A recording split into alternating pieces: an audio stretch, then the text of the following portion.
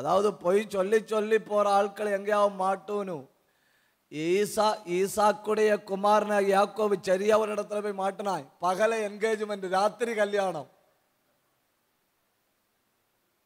நல்ல டியூப்லைட்டுக வெளிச்சத்துல யாக்கோபுக்கும் ராகேலுக்கும் என்கேஜ்மெண்ட் ராத்திரி லைட் எல்லாம் ஆஃப் பண்ணிட்டு லேயாளுக்கும் யாக்கோபுக்கும் கல்யாணம்.